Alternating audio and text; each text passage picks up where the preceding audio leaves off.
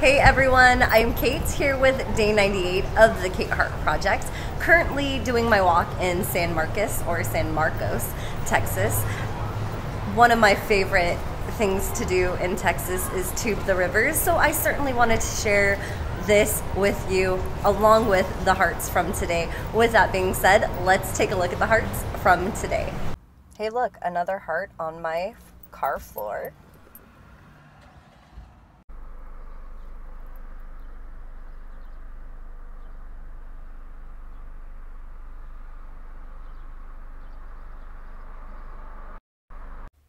Here's a funky heart.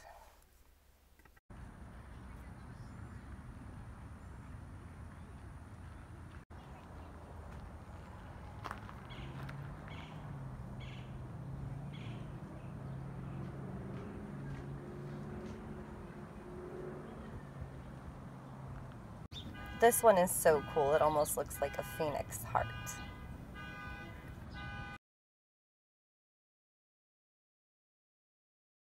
Here we have a pretty shitty heart, literally.